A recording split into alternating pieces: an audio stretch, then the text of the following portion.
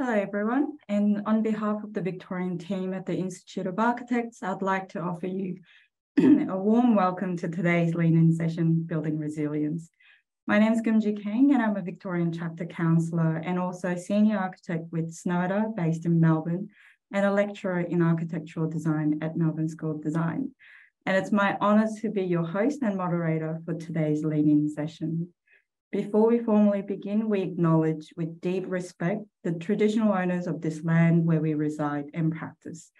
We acknowledge that it is a privilege to stand on country and we pay our respects to the elders past, present and emerging.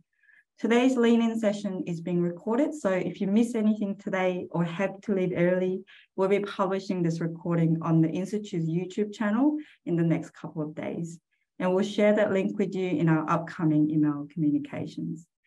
This lean-in session enables you to ask questions of our panelists. So if you have a question or a comment, please use our Q&A box down below to add your comments or question, and I'll go through these with um, panelists later out in the session. So with this session, we're joined by Dr. Chris Jensen.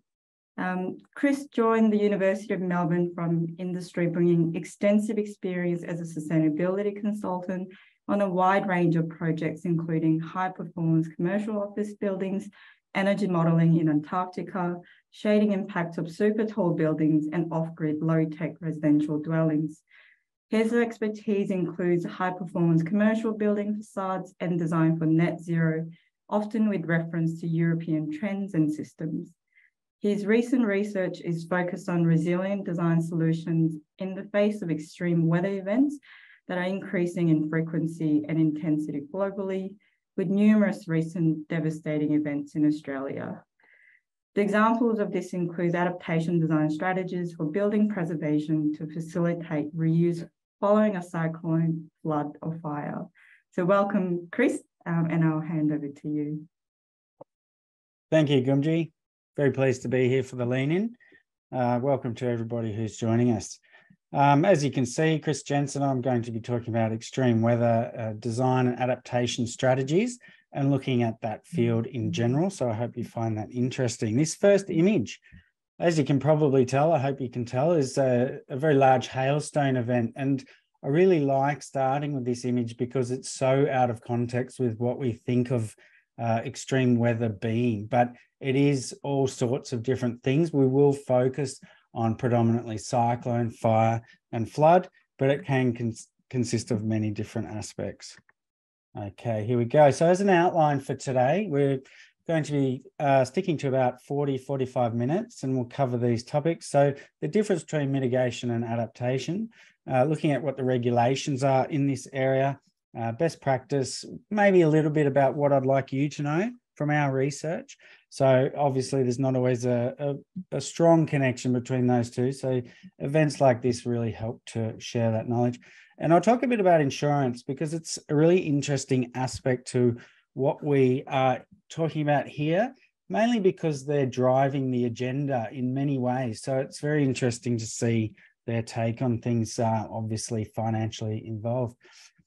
I hope you can uh, get a little bit of a, a heartstring tug here from the photos. And the purpose of those two images is to illustrate that when it comes to extreme weather and adaptation, we, the human species, we're, we're actually outdoor animals and we're affected in the same way as the rest of the animals, so to speak. So all of these events uh, take away homes, habitats, and those sorts of things. So it's just an interesting parallel where I think if we think of mitigation, um, we can kind of deal with mitigation with air conditioning and some of those uh, technologies that we have that animals can't use, but the adaptation is very different. So if we're classifying the two, it's very simple. Mitigation is about uh, trying to avoid a human impact on the climate or the global systems.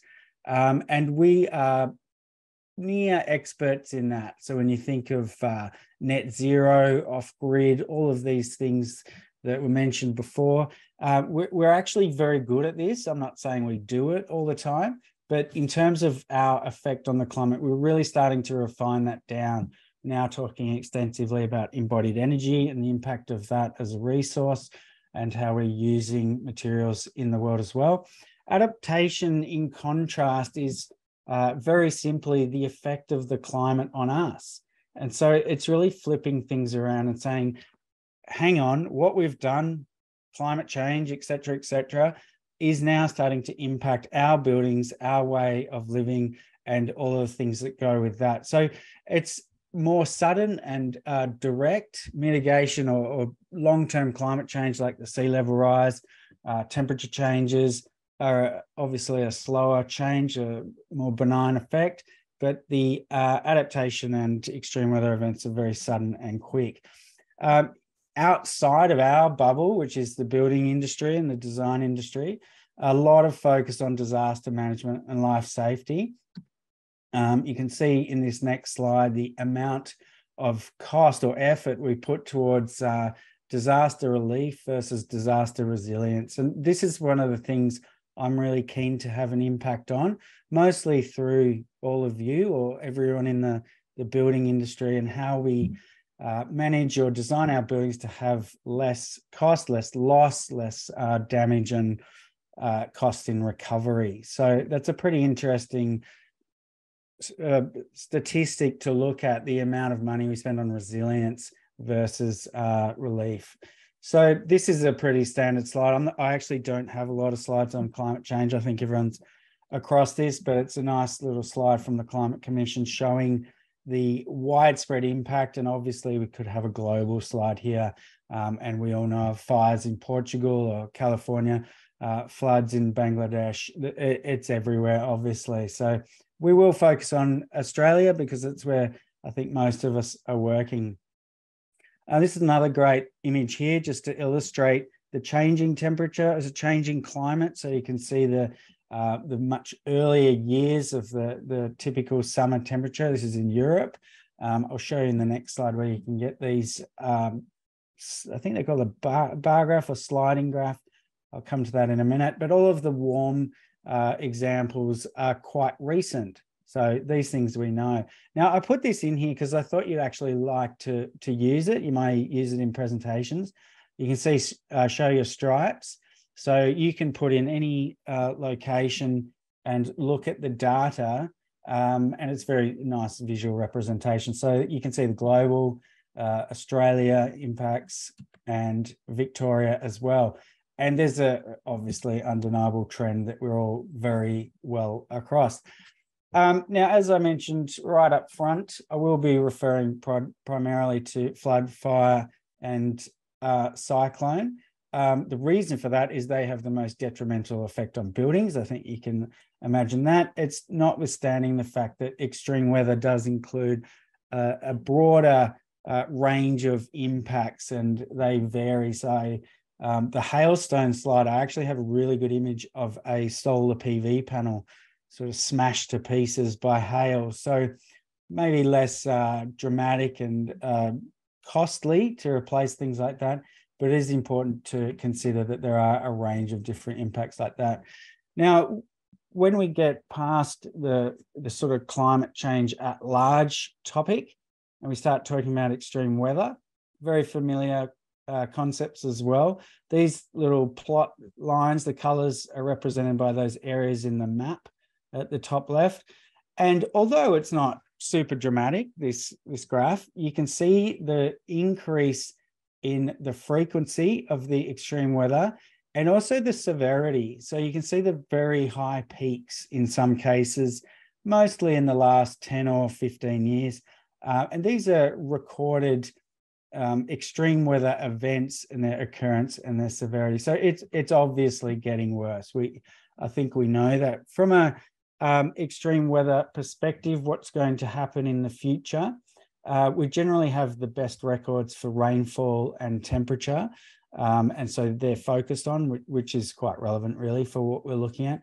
But you can see a couple of examples there of what might happen. So uh, the top graph is showing a general increase in temperature, which will, of course, lead to uh, hot weather and record hot weather. And then you can see if you're a statistician, you would know that that's an increase in the st standard deviation. and we have a hotter and colder or, or more extreme, basically, climate. And then the bottom is perhaps a combination of two, and maybe the most concerning with regards to temperature and heat, where we have a lot more um, hot weather and, and very hot weather.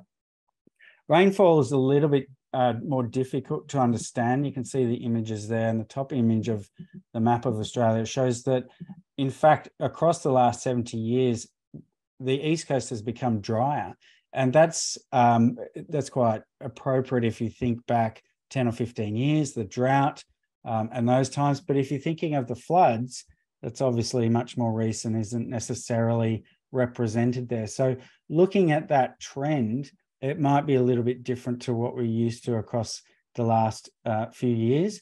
And you can see there that the variation in the Murray-Darling Basin um, probably leans more towards a drier outcome overall. And I'm sure you're you're aware of La Nina and El Nino. So um, this is very relevant to me. I really like uh, bringing in what the industry is doing, and I don't just mean the building industry, but how everyone in Australia is dealing with this. And you can see those images. So uh, Commonwealth Bank has a, a big status for uh, extreme weather and the risk of their mortgages. So they have a big piece about how many mortgages are at risk because of this. Um, the the very iconic photo of the Mallacoota area um, on fire, and then the Climate Council uninsurable nation, Australia's most climate vulnerable places. So there is a statistic that one in every 25 properties will be high risk and uninsurable. So, what does that mean for uh, the design industry? Does that mean the obvious thing, which is we don't build in certain locations, or does it mean we adapt and create buildings that will withstand some of these things? So, just looking at some of the other notes there, the reference to Commonwealth Bank, um, extreme fire days, the destructive flood. So, third costliest extreme weather, 4.8 billion I, I would love it if you guys were on camera. I would ask you what the other two were, but I can't. It's um, the hail uh, hailstorm and just the storm in general in Sydney, and Cyclone Tracy are the other two that are more uh, costly. So I mentioned this earlier, but the take home message from looking at the climate data and, and where we are at the moment is that we are very good at dealing with mitigation uh, passive house, all of these strategies to make very um, low impact buildings. We've got that, so to speak. I think we would all agree with that. Doesn't mean our clients will go for it, but still. Um, and what we need to do now is think about the impact that the environment is having on buildings and how we work as designers with that. So um, let's have a look at the, the regulations. This is the, probably the least exciting part of the session, but it's good to go through anyway. Number one, and I think everyone knows this NCC, uh, which used to be the BCA, it's in existence for life preservation. So it is to make sure buildings are safe for humans, including if there's a, a fire in the building to be able to evacuate, structural provisions so it stands up, etc., etc. Now, one of the really interesting things about design for adaptation is to uh, add to life preservation safety and talk about building preservation. So, um, what's the point of a building that withstands a flood if we have to knock it down post flood event because of the mold and the timber rot and uh, the other damage that's occurred? So, uh, I think that's a really interesting thing to to look at. If we just go through, we'll go through cyclone, uh, flood, and fire in how it's captured in the NCC. Now, you're probably familiar with parts or all of this, um, and it, it's still obviously important to go through. Sorry, I thought there's a missing piece there. We're familiar with uh, volume two and the uh, part three, so the deemed satisfied provisions, and you'll be familiar likely with those categories on the side there. Um, the ABCB in 2014 had this document, which is freely available, Resilience of Buildings to Extreme Weather Events, had some very interesting outcomes and recommendations. Um, if I was being a little bit critical, I'd say not really any of them have made it into 2019 or 2022. Um, and I think that will start to change now. But it's one of those uh, risk versus consequence, consequence, consequence type of problems. Uh, very high uh, damage at the end, but potentially low risk, especially to a lot of buildings. So they've got a decision to make about do we apply uh, increased costs and requirements to all buildings or uh, how do we assign it to locations? So uh, structural provisions are primarily used in the structural provisions section of our code to deal with cyclones. And as you can see, it's very much about the strength of the building. And that's not at all surprising. So um, regarding roofs, uh, wind actions and wind loading, I do really like the two images on the right. So the image at the top shows the, the high wind or cyclone regions. And as we know, that's uh, predominantly the north part of Australia. And the bottom one is this sort of crazy pattern of where cyclones actually occur. And I like this because it's the weather and its events and how how it's uh, occurring in Australia, and then our our neat little map of how we're going to deal with it. Now, it's obviously appropriate and relevant, but the two images together are quite interesting, I think. So, um, cyclone, that's Cyclone Tracy. So, pretty big impact. And I imagine the entire place got all, of those buildings, or almost all of them, were fully demolished, cleared, and started again. Something that's really important to remember, and I've spoken to uh, people who've been through the bushfires in Victoria more than anything else. And in many cases, they actually don't want to return there because of what's happened. Um, so there's this other barrier about the communities and the damage it does to communities. I mean, in this case, there's total destruction, but in, in other cases, people do remain um, and other people's houses have gone and um, need to make a decision about what they're going to do. Um, if we move on to flooding, you'll see one of the SBO maps there. Um, this is an interesting one, and you'll you'll see the theme here with the the three types of extreme weather I'm referring to. There is a set uh, requirement to achieve some sort of deemed satisfy performance approach to uh, dealing with extreme weather events.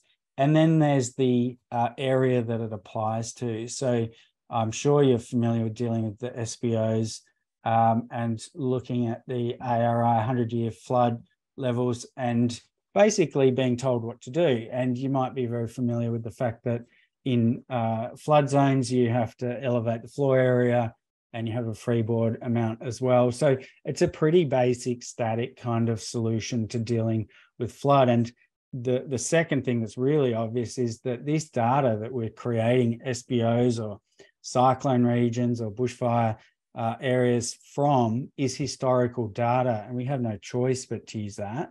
But we do need to think about the fact that if increases to extreme weather uh, frequency and severity continue, then we need to somehow plan ahead a bit better. So, so look forward um, to what we might have to be dealing with. Um, and you can see there the flood hazard requirements are tucked into additional construction requirements. And you'll see that, in fact, the bushfire one is just two down. So part 3.10.5 is bushfire areas. I'll, I'll, stick with my flood theme for now. So um, the the damage not just to buildings but to contents. Um, embodied energy is is massive at the moment, super important in the uh, designed decisions for buildings. Um, if we design a building for 50 years, but it gets flooded every five years, we need to start thinking about materials that maybe do, do they need to be durable and last 50 years? Or do they need to be low impact and because we're going to replace them every five years? Not to mention as is shown in this uh, image the uh, this spewing out of materials and products that come post flood so uh, that's an important thing to consider as well. Even if it's the furniture definitely things like floor coverings and, and that sort of thing Okay, I imagine everyone's pretty familiar with uh, 3959 for the BAL ratings, and this is a this is actually to me this is a success story in the regulations with regards to uh, extreme weather and, and disaster type of events. The reason I say that is because it has a degree of uh, flexibility, almost a bit of a performance solution approach. So, uh, depending on what BAL rating you require, so from zero, 12.5 up to flame zone, you have guidance about what materials are appropriate and whether you have uh, shutters and things like that on the building. So, I think that's quite a, a, a usable um, regulation because it has that uh, flexible approach. And obviously, if you're in a, a, um, a heavy bushfire area, in, in Victoria, I think of Wye River, or certainly up in the mountains to the east around uh, Kinglake and Healesville and those areas, you have to have a very uh, significant response. And um, that is provided here with some choices. Now, I do remind you, and it's true of uh, energy performance, which is that sort of mitigation angle, that um, these are minimums. So it's not like achieving a BAL rating of 40 is some impressive outcome. It's a minimum requirement to build. Yes, it increases cost, etc., etc., but it is the minimum requirement for that house in that location, and that's something that we need to uh, take on board. And part of my message for this session is that it's with you guys as designers to go above and beyond. And there's some really innovative solutions that are built. You will have seen them in various publications um, that really tackle, I think, particularly bushfire in Victoria is a really good example. I hope we see some uh, flood examples um, coming out of the East Coast as well and strategies and solutions. So, um, another image to really evoke the the sort of the drama and the severity of what we're talking about. Uh, fairly horrific kind of thing to have to live through, I think, and it makes you conscious of why people might choose not to return to these areas. And you could argue from a, a macro um, sort of design perspective, should we be in those areas? Of course, we should question that too. Flood and fire, definitely. Now, I mentioned overheating. It's it's not something that causes total devastation to a building, of course, but I think it's a good example where the code has a, a degree of flexibility. So you're all familiar with six and now seven stars uh, energy performance, and one of the other requirements is the heating and cooling load. So what this is is uh, uh, it's not quite a performance solution, but it allows flexibility in design to reduce what I'm focused on here is the cooling load limit. So instead of telling us we need certain structural elements for cyclone or we need certain floor heights for flood, what the strategy for overheating is, is to say, we don't really care what you do as long as the software says that you are not required to use more cooling than this. Now, this is, it, it's a better solution, but it's still not uh, perfect because there are many challenges with west facing apartments, for example, that have no opportunity except to uh, cop that heat. Um, I've done a lot of research with overheating and looking at retrofit strategies. So, external shading to curtain walls or um, reflective roof materials and things like that. And it, there is some really good strategies, particularly in retrofit, but ultimately uh, getting it right at the start is the right thing to do. Okay, so um, little take-home message. You can see I'm a lecturer at university, no doubt. Uh, focus on life safety historically with areas defined from historical data. So that's where we are perhaps falling behind. And if you said that six or seven stars is our minimum performance requirement, and you look at the high performance strategies, whether it's um, net zero or passive house or something like that, that's a um, a carrot approach or something that we should be targeting and designing for, as opposed to uh, relying on those fairly simplistic uh, measures. Good, we're going okay time wise. Okay, so as I hope you saw just before, we're looking now at the the best practice uh, strategies towards adaptation and resilience. Green Star Homes is an interesting tool. It's not that old. Um, it is only available to volume home builders. Now, it doesn't mean you can't use the principles, but certainly in terms of being uh, rated uh, officially, it's only for that use. and as consistent with a lot of the the approach to Green Star now, they've sort of uh, switched into these categories like is shown here, positive, so particularly around energy, healthy, so IEQ, and resilient, which which is a new one here, and you can see a quick definition of positive and healthy to uh, explain where they're going with that. But I think it's particularly impressive and obviously relevant to us to have included resilient. Now, um, I'll be first to say it's not particularly difficult to achieve this. And in fact, there's many non-mandatory requirements in this. But what it is, is it's a step towards uh, including this in the design conversation um, and general knowledge, I guess, as to what is required. So uh, although I can understand the use of the inclusion of, say, water use and water consumption in resilient, it's probably not quite as uh, relevant for the type of house this tool applies to, which is a, a volume built house um, with regards to bushfire flooding and, and heat.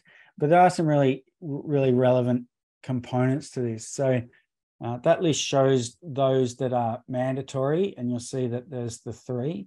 And then there's the other categories, which are um, required, project teams are required to explain why it's not included. So you can imagine, for example, sea level rise, if you're, you know, doing some houses in hilly area, you would easily get out of that, of course. So that's the reference there. But um, heat, we, we're very familiar with that. And storms and the community connection one, they've got some really interesting uh, credits or, or requirements in here.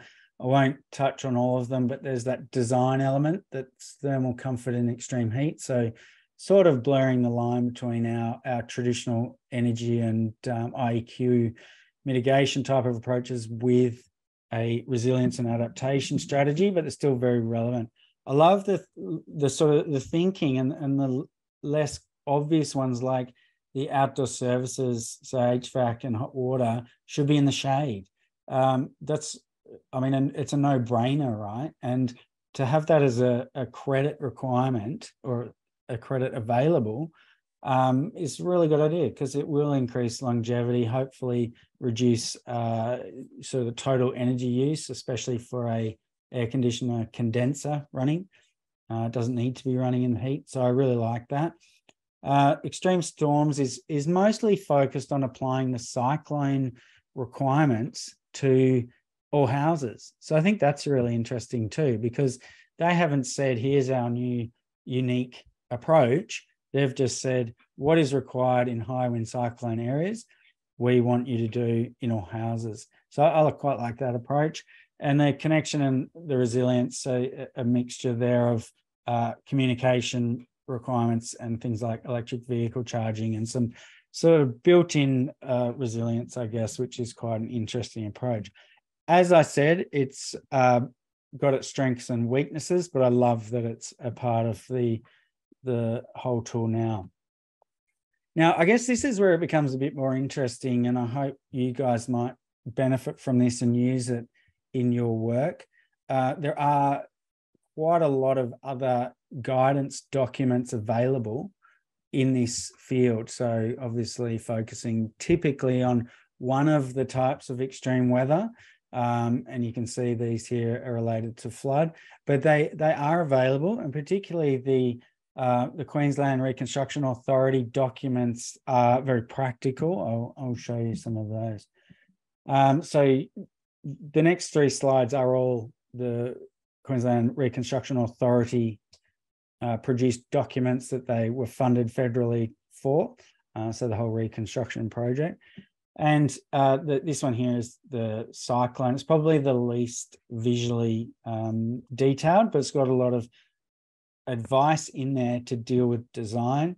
Um, wind pressures, I think, um, are mostly dealt with for most normal buildings as part of the normal design and construction process.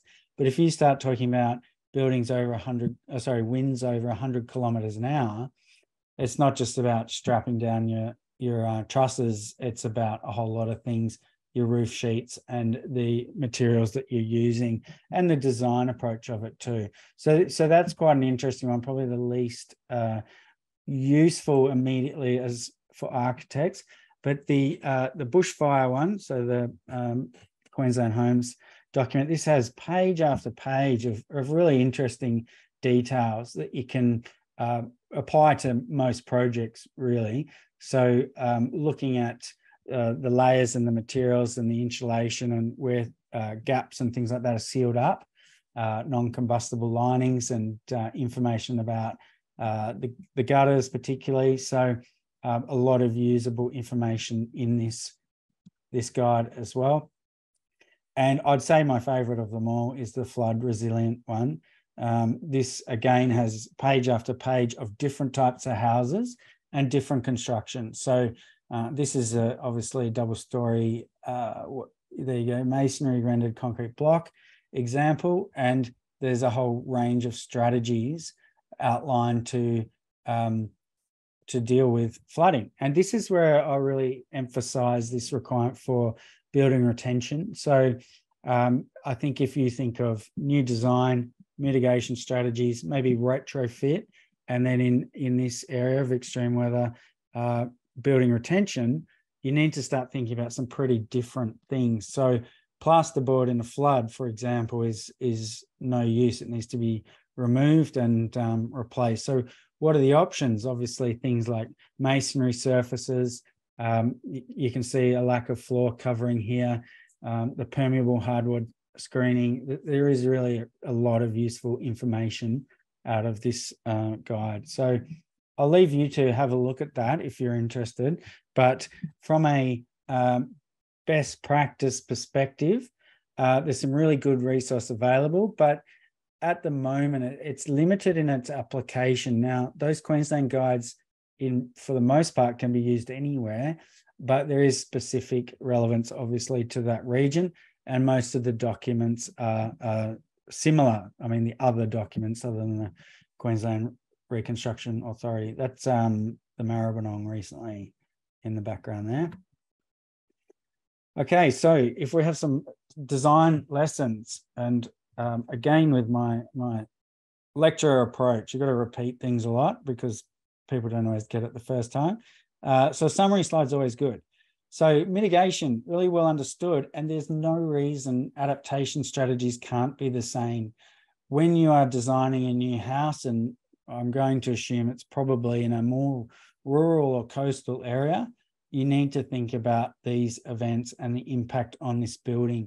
Uh, it's a really high quality outcome to have a you know net zero off-grid disaster proof house right i think that makes sense so we need to start thinking about how to do that and there is some information uh, available and we need to start thinking about the retention of buildings in this regard. So I think a success story in the regulations is Cyclone and the, the new requirements have really massively minimized the amount of damage to houses. There's a really good graph actually uh, that shows the damage to houses from cyclones over the years, and it, it obviously just reduces as uh, the more recent that you get.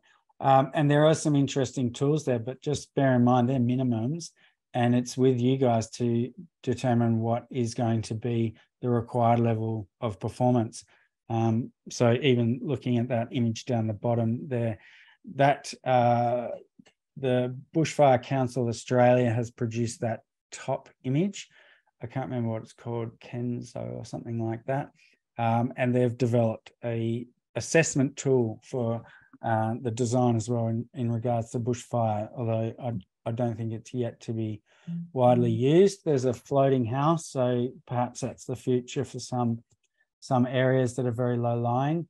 Um, but preferably we don't build in those certain areas. Um, lots of little things that you can talk about, and I showed you in some of those guides, so I won't go over that. Um, we talk about mold so much at the moment, and that's a huge problem in in buildings and air tightness and things like that. Um, you should see the mold after a flood in a house or the, the rot to timber. It's really quite amazing. Simple things like is the electrical uh, installation in the ceiling or does it go around the, the floors and what makes things more reusable. All right, I'll be quick with this because we haven't got a lot of time left. Now, I mentioned that insurers are really relevant here because they're making the financial decisions for us about what will get insurance and what premiums will be.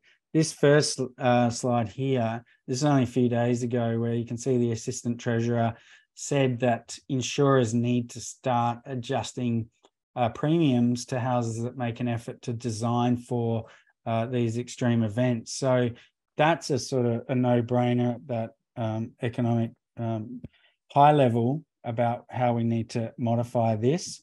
Um, and that would be something that you would also consider. So um, they have this huge influence over it. And what's really relevant to me in some of my research is that the the influence and the knowledge they have is completely asymmetric to what a homeowner has. So uh, if you're lucky when you're purchasing a property, you know enough to know what an SBO is or um, a BMO or something like that. I think you would all know that you've had clients who haven't really looked at that and it's increased their cost in construction, what also increases their premium and their, their risk of having a problem. So you can see the climate valuation slide shows um, a, a, way that things are calculated for different areas, obviously related to the, the risk. So we all know insurance is based on risk and making money.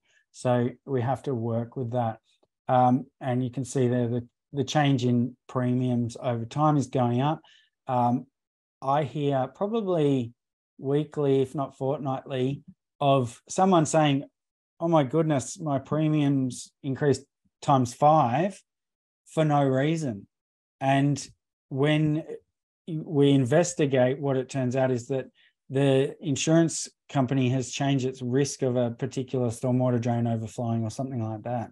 So you may not be in a uh, low-lying sort of inundation type of situation, um, but there is still decisions being made about your premiums and your policy based on some of those other things. So um, this is a really big factor. And just add to this one that um, you might not get insurance. So uh, it, it is, I think, important to consider at that early design stage with what the building will be. So uh, there's another graph and set of uh, statistics for you. Is climate change pushing up home insurance premiums in Australia? Yes, these. Um, where they're on the rise. So you have access to this afterwards, so you can read and, and look at that in more detail if you're interested. Uh, the Insurance Council of Australia is really uh, relevant for this this data. Uh, sorry, that's um not got any pictures. That's all right. So Swiss Re is a reinsurer. Very quickly, you may not know this that if you take out insurance policy with Suncorp or someone, your flood damage, fire, and all of that is reinsured with uh, someone or reinsurer called some, something like Swiss Re. There's about, well, there's a bunch of them. There's three that are the largest that do this. And it's of interest to us that they, if they make the decision that your stormwater drain is going to overflow, your insurance provider won't insure you because they can't get insurance for the risk that is being presented. So that's quite an interesting one. Now, as I said, insurers are having a big effect on the uh, approach to buildings and, and the way things are done because they hold the um, hold the cards, I suppose, when it comes to covering you. So for whatever reason, flood, cyclone, uh, fire, um, and many of them have tools that are um, they're useful. They're a bit sort of generic in a way. Suncorp's uh, One House tool is really interesting. It's got some good tips on what makes a good house. And they also have what's called Resilience Road, which is a, a road, I actually don't know where it is, it's in Queensland somewhere, where they've retrofitted houses for different strategies. So you can look up Suncorp Resilience Road and uh, see some of the things that were done for different reasons. So fire versus flood and that sort of stuff. Here's an example of the type of um, ideas that they have. So sacrificial gutters. So in a bushfire, rather than the gutters and the leaves catching fire and going into the roof, um, the gutters melt and fall away because bushfire is very different to a house fire. It's very high heat intensity, but for a short period. So if you can avoid uh, the building catching fire and the windows going and things like that, there's a really good chance of uh, building retention and obviously contributes to life safety. Oh, there's my picture. Okay. And they have their own guidance about storm damage, most of which is covered. So most policies will cover these things.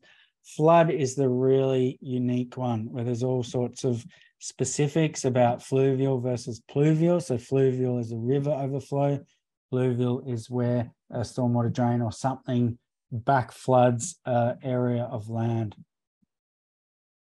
Um, and I think this is close to my last slide. The flood, uh, sorry, the insurers use something called the National Flood Information Database, which is a, um, a third party developed flooding tool. Now, this is the example, and one of the relevances of including insurance in this session is why isn't this the same as what the council uses for the SBOs, or at least available for comparison? That to me makes sense. Provide the homeowner or the designer with the information based on advanced modeling as opposed to uh, rainfall events of the last 100 years. So there's some interesting things to uh, think about like that. And with that, I'll I'll end. I hope you've uh, found that interesting, but it's um, a lot to take in. I'm very conscious that architects get more and more uh, responsibility and and and things loaded on them with BAL and changing codes and client requirements. And maybe this is just another one to think about. But um, please, I hope you'll see the relevance of this and you might consider designing uh, with these things in mind. Thank you. Thank you, Chris. That was really informative and insightful presentation. As you said, I think it's a really great starting point, uh, starting point for some of us, you know, potentially being inundated with information um, at this day and stage as well. We have a couple of questions, so I'd like to go through them um, while we have some time. The first question is from Gregory. So in from his experience on a previous PHI passive house certified project in Canada, um, so he was involved in um, sort of originally designed to climate data from between 2010 and 2015. But as it turns out, by 2018, um, it was out of date with the latest data. So it was too low in his estimates um, and so forth. So he was wondering if there was a projected climate data in Australia that we can use as practitioners that is in format that can be sort of plugged into the PHPP model. So, you know, he's um, essentially asking for sort of not past dated information. Uh, yeah, the the answer I'm 95% confident in is that the the NatHERS climate files have the files for use for accreditation, and then they also have a version of it that is projected into the future. And I'd have to look up how to access that. Um, the other thing that is possible is to look at the uh, IPCC projections. Um, I had a, a, colleague and I did a bit of research on looking at how uh, cities, a, particular design in cities around Australia would be affected by a two degree rise. And uh, it may not be a surprise to hear that you have a less heating and, and more cooling. And it's really interesting to think about. Uh, it is it is that simple. We had a simplistic um, change to the the weather file. So when you think of humidity and the Indian Ocean dipole and all the effects that go into it, it might not be that simple. But looking at it simply uh, from a house performance, it is switching from heating to cooling. And you may have found that also in your passive house um, outcome. Great. Thank you. Um, next question is also on the passive house. So this is one from Alistair. Would you say that you think that passive house standard homes have sustainable embodied carbon emissions across their life cycle? Yeah, um, that's a good question, and um, I uh, I'm very into thermal performance and design myself, and passive house is obviously this sort of um, a very specific approach to it.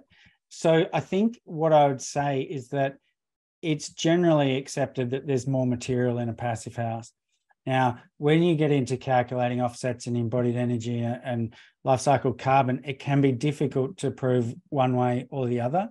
Um, we did some research going back at least 10 years ago now that said for a set of criteria, in particular climate, about 7.5 to 8 stars, and obviously in NatHERS system, was the optimal when considering the increased embodied energy of additional materials. So, a really good example to me, I was actually watching Grand Designs New Zealand last night, and there was it included a, a passive house that uh, was interesting. And they're talking about triple glazing. Um, if you are the type of person who requires 20 to 21 degree internal temperature, and you would have your heat on, heating on a lot if you didn't achieve that, then the triple glazing might be more worthwhile. If you're more flexible in terms of uh, indoor temperature, maybe you leave the doors and windows open sometimes, it may not be worthwhile. So um, I think the answer is that it's a very important point about the embodied energy built into a house that's very high performance. Um, and it's going to be different for different applications. I'd also contrast solar PV as well. Lots of discussion about the embodied energy of solar PV. Um, so, you know, it's a wicked problem with multiple answers, really. Yeah. Um, next one's actually from myself. I just wanted to ask, um, you know, as a practitioner, we're increasingly responding to more urbanized and dense environment that we're designing for. Mm. Do you have recommendations or approaches that you think um, are more appropriate for urban uh, environment or sort of more um, high density buildings? Yeah, it's pretty easy to talk about uh, overheating in heat waves. So um, I mentioned earlier, I've done a lot of research in that, and, and the way to think of it is there's a heat wave causes overheating, and that causes heat stress for occupants. Um, so we've got a lot of opportunity with obviously things like uh, greenery, roof colors, um, the amount of garden and space, which we often don't have control over, um, and then the decisions about thermal mass and when we condition the indoor space. So there's technically nothing wrong with addressing a heat wave with air conditioning if it's solar powered, right? So if you if you put together the right pieces, it can work very effectively. And I, I would say that that um, that urban area um, sort of issue or adaptation with a focus on the overheating is relatively well understood, and we we tend not to do it. So we tend to have black grooves and and the rest of the things. I mean, it's quite common people have buildings with no shading on windows and those sorts of things. So it's just about the priority. And, and I'm not here to tell everyone to be the greenest greenie, but um, I think most people already know how to deal with those things. And it's you're sort of educating clients, battling costs to get those realities. Yeah, thank you. Um, next question from Jim. Uh, what impact would a renewable based energy system have on the value of passive thermal performance? Um, yeah, okay, that's interesting. So I presume we're talking about solar PV. Um, I it is amazing to me to think that solar PV isn't a minimum requirement in the code now in terms of uh, bang for buck. So if you think of a six kilowatt system being maybe seven or eight thousand dollars, depending on your rebate, um, and that will not only reduce the bills but contribute significantly to your equipment uh, energy offset. So um, I don't want to suggest that you should have low thermal performance and a lot of solar, but it is an interesting theoretical kind of counterpoint to having a very high thermal performance, maybe more expensive uh, building envelope, and not having solar. So um, I would say that in answer to your question, solar PV won't affect your thermal performance, but it means you can use your services with less impact and less guilt, perhaps. Yeah. Um, just on follow up for the solar PV, uh, there was a question asking if there was a good solution to protect solar PV from hail or storm events. No. No, there's not. yeah, I think it's triggered by that image that you posted. Yeah, you'll see some uh, manufacturers talk about double layered glass, and and I'm sure some are stronger than others. But at the end of the day, you're talking about a baseball coming from you know, however many kilometers in the air and smashing onto a piece of glass, it's never going to be good. Mm. If it could break a roof tile and and you know all of that, smash a car windscreen, it's um, going to be difficult. The force of nature. Um, yeah. Just on follow up, I think Jim's question on the renewable base energy system, he was asking if that was based on, oh, sorry, if it's a national grid.